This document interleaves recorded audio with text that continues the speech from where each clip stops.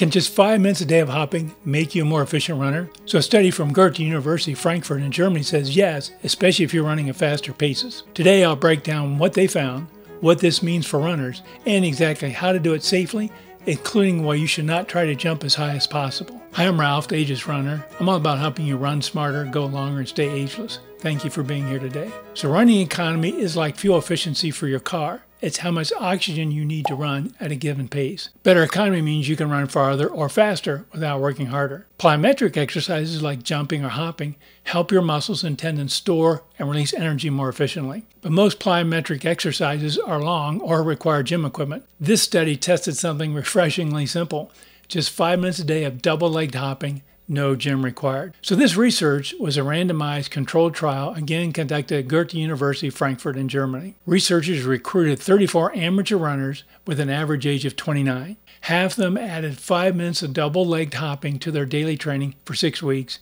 The other half made no changes.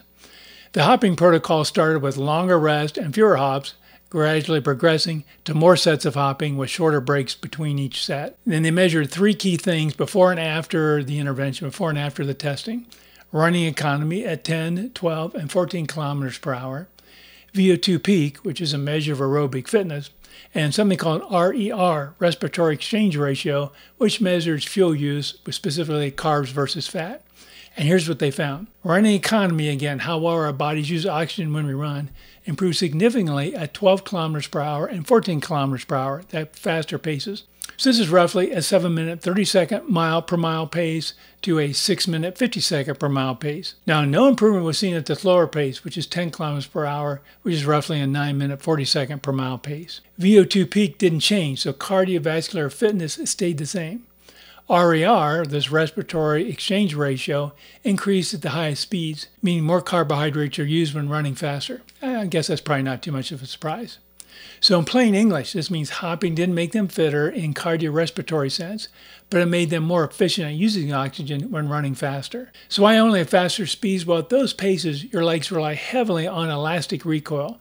Your tendons function like springs. Hopping trains this specific quality enhances tendon stiffness in a functional way so they return more energy with each stride.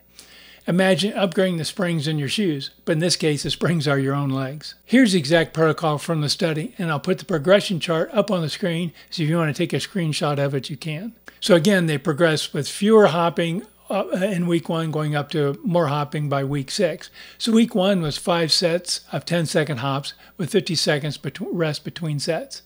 Week two went up to six sets of hopping with 40 seconds rest. Week three was eight sets of 10 second hops with 30 seconds rest between sets.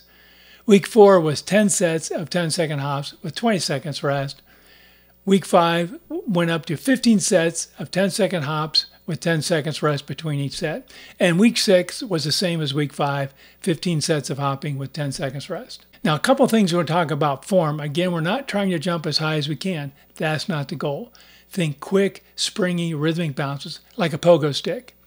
You want to stay upright, keep your eyes forward, land softly on the balls of your feet with knees slightly bent. The idea here is to keep ground contact as short as possible, so it needs to feel elastic, not heavy.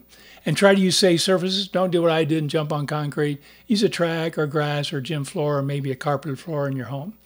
Now, if you have issues with knees, ankles, or Achilles tendon, you know, start with fewer hops or swap in a jump rope. Now, a few considerations about the study. Again, it was small and it focused on younger recreational runners.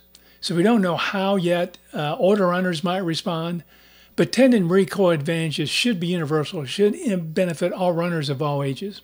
And also, they didn't measure how long the benefits last after stopping. So if you do this and it works for you, well, keep it up. So there you have it. Five minutes a day of smart rhythmic hopping could be your shortcut to better running economy. And again, running economy is how well our bodies use oxygen when we run. And this is especially true at faster paces. So would you try this? If so, let me know in the comments. And don't forget to like, share, and subscribe for more ways to run smarter, go longer, and stay ageless. Thank you.